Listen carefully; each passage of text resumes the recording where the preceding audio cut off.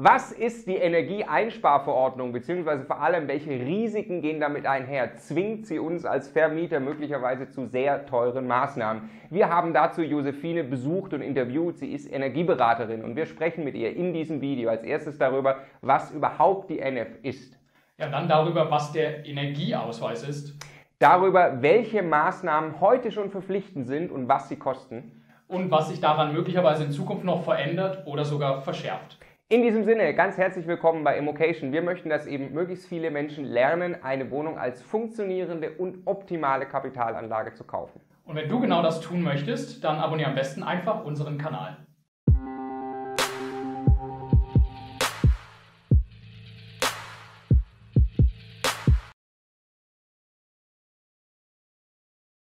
So, also wir wollen darüber sprechen. Was ist die Energieeinsparverordnung? Wie könnte sie sich möglicherweise für Eigentümer auswirken? Natürlich können da Risiken mit einhergehen, können Kosten auf einen zukommen. Ich könnte das nicht so gut beantworten wie Josephine, die neben mir sitzt. Äh, sie ist Energieberaterin, Schornsteinfegerin und sie ist äh, Vorsitzende der Schornsteinfeger-Gewerkschaft in Thüringen. Schön, dass du da bist. Vielen Dank. Ähm, lass uns anfangen. Was ist die Energieeinsparverordnung grundsätzlich und was ist die Grundidee dahinter?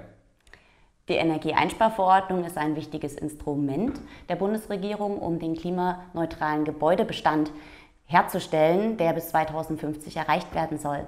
Sie legt alles fest, was Gebäude betrifft, also Bestandsgebäude und Neubauten in der Gebäudehülle und in der Anlagentechnik, also alles, was Heizung und Klimaanlagen betrifft. Okay, also bis 2050 neutral heißt, gleich viel Energie geht rein und kommt raus, oder was? Ja, je weniger Energie man verbraucht, desto besser ist es natürlich für unser Klima. Also wollen wir erreichen, dass Gebäude möglichst wenig Energie brauchen, um die gleiche Wärme zu haben, wie es vorher auch war. Okay, äh, verstehe. Also das heißt, bis 2050 möchte man da einen Standard erreichen, so wie man beispielsweise auch bei Autos irgendwann möchte, dass sie kein CO2 mehr verbrauchen. Ähm, das gleiche versucht man quasi auch für Immobilien hinzubekommen. Äh, ja, hat natürlich gravierende Auswirkungen, wenn man jetzt eben ein Auto besitzt oder eine Immobilie. Deshalb wollen wir genauer reinschauen. Den ersten Teil, den wir uns jetzt gleich anschauen, ist äh, zuerst mal der Energieausweis.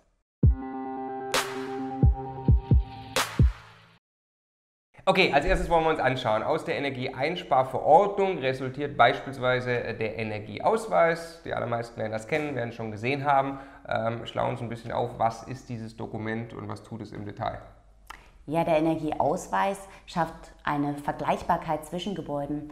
Demjenigen, der das Ganze sieht, wird einfach ersichtlich, okay, wie kann ich das Gebäude einschätzen auf einer Skala von grün bis rot, kann ich ersehen, wie ist mein Gebäude im Vergleich zu anderen Gebäuden in der Gebäudekategorie. Also wie viel Energie verbraucht es? Ja, Verbrauch bzw. bedarf es, um das okay. Gebäude zu beheizen. Okay, in was wird das angegeben? In Kilowattstunden pro Quadratmeter und ja. Okay, und da ist, also wird das dann eingeordnet. So, jetzt muss das ja gemessen werden. Es gibt zwei verschiedene Verfahren. Du hast mir gerade schon verraten, ein Verfahren ist eigentlich nicht wirklich sinnvoll. Ähm, erklär das mal ein bisschen. Ja, es gibt zwei Arten von Energieausweisen, einmal den Verbrauchsausweis und den Bedarfsausweis. Beim Verbrauchsausweis werden drei Jahre Verbrauchsabrechnung genommen und einfach in ein Programm gepackt und errechnet. Das ist meistens nicht sehr aussagekräftig, weil natürlich ein Unterschied zwischen der kleinen Omi, die ein Zimmer beheizt und der vierköpfigen Familie besteht. Der Bedarfsausweis gibt dahingehend eher an, was das Gebäude tatsächlich braucht, um komplett beheizt mhm. zu werden. Also ist wirklich jedes Gebäude auch gleich betrachtet. Okay, also bei bedarfsorientiert, da rechnest du wirklich. Du guckst ja. dir an, keine Ahnung, wie dick sind die Wände, äh, was ist die Heizungsanlage und dann kommst du auf irgendeinen Wert und berechnest es wirklich. Äh, genau, durch die Berechnung kann man natürlich auch einfach besonders auf Sanierungsmaßnahmen eingehen. Ja. Das heißt, ich kann wirklich gucken, wie ist das Dach aufgebaut, wie ist die Anlagentechnik beschaffen, lohnt sich da eine Sanierung oder ist das Gebäude ja, völlig in Ordnung. Ja, ja. Okay, das ist ein interessantes Thema mit äh, Sanierung. Wir nutzen das auch gern. Da sind immer Maßnahmen angegeben. Äh, wie, wie kommst du zu diesen Maßnahmen und, und äh, was, was kann man damit tun? Ja, die Maßnahmen ergeben sich einfach aus der Begutachtung des Gebäudes. Also zum Beispiel die Wanddämmung, ist die notwendig? Ergibt sich das vielleicht aus den Fenstern heraus? Wie sind die beschaffen? gibt es vielleicht schon Feuchtigkeitsprobleme und daraus können dann Okay. Sanierungsmaßnahmen ermittelt werden. Also das ist auf jeden Fall, glaube ich, ein super wertvoller, äh, wertvoller Tipp. Da stehen Maßnahmen drin. Da hat jetzt die Josephine oder ein anderer Energieberater ähm, sich quasi wirklich schon mal ein Gebäude angeschaut und gesagt, das sind meine Top 2, 3 Maßnahmen, die ich empfehlen würde. Also wer eine Wohnung ankauft, äh, sollte sich diesen Energieausweis auf jeden Fall anschauen und mal nachfragen, äh, wie schaut es eigentlich aus mit den Maßnahmen? Sind die geplant zur Umsetzung? Stehen die vielleicht bald an? Da weiß man schon mal, was da auf einen zukommt. Der Energieausweis ist Pflicht, richtig? Ja, auf jeden Fall. Bei jeder Immobilie, die verkauft oder vermietet werden muss, muss ein Energieausweis vorher erstellt werden und sogar schon in der Immobilienanzeige muss der Endenergiebedarf angegeben werden. Okay, also beim Ankauf einer Immobilie, man sieht den Energieausweis auf jeden Fall, man sieht dort den Verbrauch der Immobilie, es werden Maßnahmen vorgeschlagen, ähm, es ist ein wertvolles Dokument, zumindest dann, wenn der Verbrauch auch wirklich richtig ermittelt wurde, ähm, das äh, eher das ähm, bedarfsorientierte Verfahren wahrscheinlich lösen wird. Okay, jetzt wollen wir uns anschauen, was äh, die Energieeinsparverordnung äh, grundsätzlich noch an Themen mit sich bringt, die quasi dann auch zu Kosten in der Zukunft führen können. So, also ich habe gerade gelernt, seit 1977 gibt es schon quasi erste Regeln in Deutschland, dass man sich an gewisse Baustandards halten muss. Ähm, und ja, jetzt äh, lass uns mal über deine äh, persönlichen Top 3 reden. Was sind Maßnahmen, zu denen ich aktuell verpflichtet bin als Eigentümer einer Bestandsimmobilie? Ja, also in der aktuellsten Fassung der Energieeinsparverordnung von 2016 wird vor allem geregelt, dass erstens die oberste Geschossdecke in jedem Gebäude zwingendermaßen gedämmt sein muss. Okay, erklär uns das ein bisschen genauer. Ge- Also erstmal, was ist gedämmt? Was bedeutet das? Ja, also es muss ein gewisser U-Wert erreicht werden. Äh, genauer ist es äh, 0,24 Watt pro Quadratmeter. Ja. Ja, das ist der U-Wert, den wir da brauchen. Das heißt letztendlich nichts anderes wie ungefähr eine 12 bis 16 Zentimeter dicke Mineralwolle, die auf der obersten Geschossdecke liegen muss oder in die oberste Geschossdecke eingebracht werden muss. Das könnte also Geschoss oder Dach sein, also Dach. Genau, also alternativ Das, was, kann man natürlich äh, das ja. gesamte Dach dämmen, aber die oberste Geschossdecke ist das, was verpflichtend geregelt ist. Okay, wenn also jetzt das Dach ausgebaut ist und oben drin Wohnraum ist, dann muss auf jeden Fall das am Dach gedämmt sein, weil Die dann ist die oberste. Okay, okay, Ja, alles genau. klar. Okay. Äh, okay, was, was, was empfiehlst du da? Du hast gerade gesagt, Mineralwolle, das ist das, was man jetzt nimmt gerade, oder? Genau, das ist der Standardbaustoff eigentlich, was Dämmung betrifft, ist auch relativ kostengünstig. Ja. Bei der obersten Geschossdecke in Dachräumen, die nicht genutzt werden, kann man das zum Beispiel auch einfach auf die Bodendielen drauflegen. Das wäre ein guter wa- Was, wa- was glaubst du? Wir haben jetzt beispielsweise ein, äh, wir haben zwei Wohnungen in einem Vier-Parteien-Haus. Äh, da ist es von 1960, das heißt, das Dach äh, äh, war mal quasi komplett ungedämmt. Über den Daumen, was glaubst du, was kostet so eine Dachdämmung? So zwischen 15.000 bis 20.000 Euro schätzungsweise, wenn es der Fachunternehmer macht. Okay, und das verteilt sich dann über Eigentümer. Okay, das ist das Erste. Also äh, oberste Geschossdecke bzw. Dachdämmung. Äh, was ist das zweite Thema? Das zweite Thema ist auf jeden Fall die Anlagentechnik. An der Heizung, die hat nur eine gewisse Lebensdauer, meistens zwischen 15 und 20 Jahren. Ja. Allerdings gibt es natürlich auch Kessel, die sind schon über 30 Jahre alt. Ja. Und da schreibt die NF zum Beispiel vor, dass diese auf jeden Fall ausgetauscht werden müssen. Alle Kessel ab 30 Jahre gehören auf jeden Fall ausgewechselt. Okay, also no, nochmal quasi für den Eigentümer. Ich kaufe jetzt eine, eine Wohnung, eine gebrauchte Wohnung in einem Haus. Ich stelle dort fest, die Heizung ist älter als 30 Jahre. Ist das eigentlich nicht mehr zulässig? Richtig, genau. Da kommt also auf jeden Fall was. Ja, es gibt ja eine Ausnahmeregelung in der NF, dass selbstnutzende Eigentümer, die schon vor 2002 in der Immobilie gewohnt haben, Ja. diesen Kessel quasi behalten dürften. Deswegen kommt es beim Kauf einer Immobilie öfter mal vor, Ja. dass man einen solchen alten Kessel noch im Gebäude drin hat. Der neue Eigentümer muss da aber nach spätestens zwei Jahren reagieren und diesen Kessel austauschen lassen. Okay, bezieht sich jetzt aber auf ein ganzes Haus. Wenn ich bei einem Mehrfamilienhaus, wo es eh mehr, da ist das komplett eh schon verpflichtend. Ne? Sowieso, ja. Im Mehrfamilienhaus ab 30 Jahre muss das ausgetauscht werden. Okay, okay. Und einfach nur kurz, ich meine, das Thema ist natürlich beliebig tiefgehend, aber nur so zur Orientierung, was, was, gibt es da? Es gibt dann irgendwie, äh, also was für Heizungsvarianten werden jetzt heute eingebaut? Äh, Zentraletage, Öl, Gas, was? Ja, also da gibt es natürlich viele Varianten. Ne? Da ist ein umfassender Beratung vom Heizungsmonteur, Schornsteinfeger oder auch Energieberater natürlich sinnvoll. Prinzipiell ist dazu zu sagen, wenn ich auf fossilen Energieträgern bleibe, muss ich auf jeden Fall die neue Brennwerttechnik einsetzen. Das ist ja. der Stand der Technik. Und ob ich jetzt zentral oder wohnungszentral das Ganze gestalte, das ist nicht so relevant. Das spielt eigentlich für die Technik selbst keine Rolle. Es bleibt auf jeden Fall bei der Brennwerttechnik. Ja. Und ich könnte natürlich auch von fossiler Energie dann auf eine neutrale Energie, zum Beispiel Holzpellet, Hackschnitzel oder Scheitholz umsteigen. Okay, Auch das wären okay. natürlich Varianten. Okay, also macht absolut Sinn. Ich glaube, das hat man gerade rausgehört, dass man Energieberater einschaltet. Wir haben ähm, im Übrigen äh, auch äh, gerade eine Heizungsanlage ausgetauscht in einem Haus. Ähm, jetzt einfach nur quasi bei Handwerkern anzufragen, ist tatsächlich die schlechtere Idee. Es gibt, äh, das ist nicht Teil dieses Videos, gibt es aber auch auf unserem YouTube-Kanal, ähm, es gibt natürlich viele Fördermöglichkeiten der KfW, die das unterstützt, weil man möchte natürlich als Bundesregierung, dass möglichst äh, viel auch in der Richtung passiert. Äh, da hilft einem natürlich, da wird ein Energieberater dann sowieso verpflichtend und der hilft einem dann, die optimalen Förderprogramme auch rauszufinden und dann eben auf genau so moderne Technik zu setzen. Okay, also äh, ähm, Dach bzw. oberste Geschossdecke, Heizung und es gab noch einen dritten Punkt, den du mir gesagt hast. Ja, der dritte Punkt wäre die äußere Gebäudehülle. Alles, ja. was Wände betrifft, die gegen Luft angrenzen.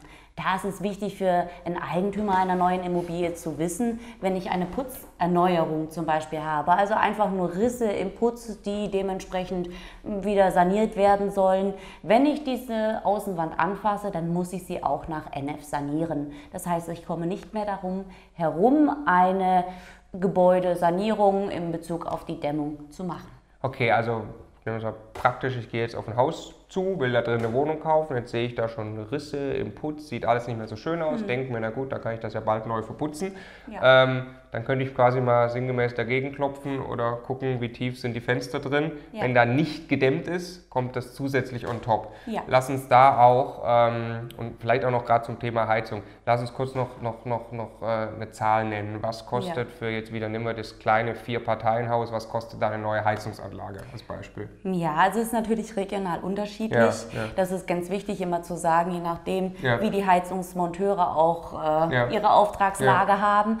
Äh, ich würde sagen, bei einer einfachen Zentralheizung auf fossilen Energieträgern, also Gas oder Öl, sind wir meistens zwischen 15.000 und 25.000 okay. Euro, je nach Größe. Ja, ja, ja. Okay, das war jetzt für mich gerade selbst spannend, weil wir haben ja die Heizung tatsächlich ausgetauscht. Wir haben ja da äh, eher ein bisschen drüber bezahlt. Ich glaube, ziemlich genau am Ende 25, erzählen wir auch in einem anderen Video. Okay, noch kurz Fassade Dämmung, jetzt fasse ich also den Putz an und dann heißt, nee, komplett, das ganze Haus muss einmal gedämmt werden. Was kostet so eine komplette Hausdämmung? Jetzt nehmen wir wieder vier Wohnungen in ja, einem Haus.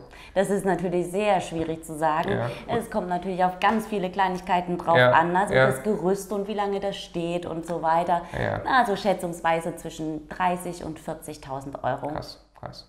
Okay, also äh, wahnsinnig wertvoll, diese, diese drei Maßnahmen, ähm, die Fassade, die Heizung, äh, oberste Geschossdecke. Wer eine Wohnung kauft in einem Haus oder gar das ganze Haus kauft, ähm, nach diesen drei Sachen unbedingt mal schauen, sind ja. die schon passiert?